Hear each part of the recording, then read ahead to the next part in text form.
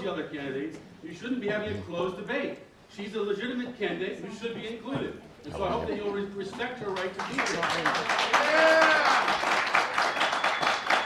not a full discussion if you don't have all viewpoints included, and I'm a valid candidate on the, on the ballot, so I hope you, and I appreciate you allowing me to be here today. Thank you.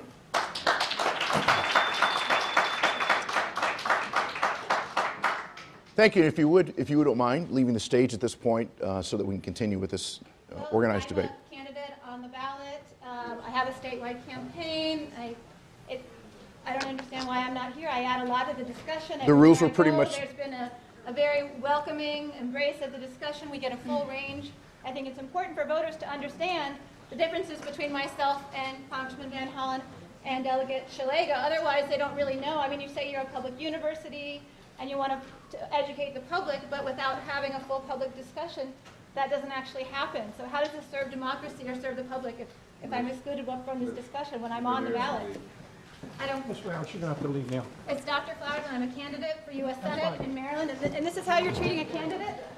This is how they're treating, this is why our democracy is a sham. Can we, can we open this, can we open this podium to her?